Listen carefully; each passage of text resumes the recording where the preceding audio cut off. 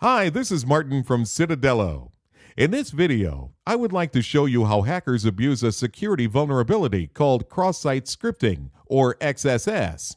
My goal is not to teach you how to abuse this kind of problem, but to demonstrate that even this type of bug can have serious consequences.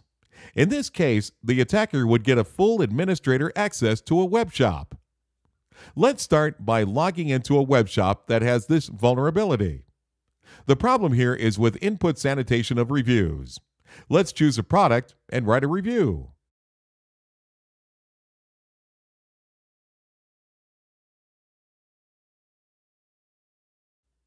Instead of a standard review, we will use this code that we prepared. This shop requires that every review is approved by the system administrator. We can now submit the review. Now we see a system administrator logging in.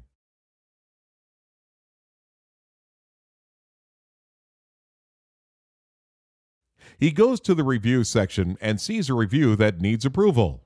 He clicks on Edit and sees the review containing malicious code we put there. This code is executed in the administrator's browser and steals their session ID and token. These two pieces of information are all that's needed to log into the admin interface.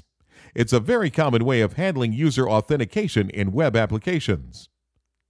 Let's see how this looks from the attacker's perspective. The attacker sees a new information submitted to him by the malicious code. It contains session ID and token. Let's first edit the PHP session ID cookie in our browser with the information we received.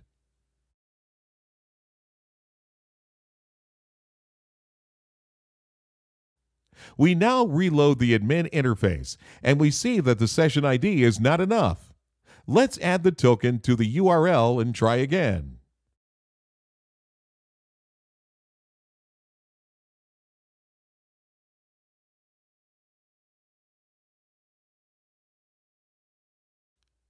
Now we are logged in as an administrator.